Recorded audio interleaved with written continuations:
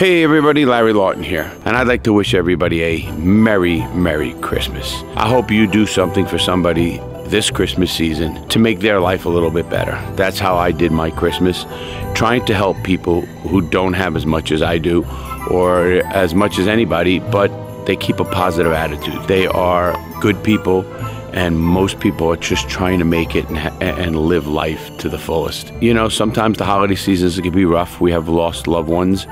Uh, in fact, I heard about a very close friend of mine who lost his son two weeks ago, and he still has a positive attitude as much as he can.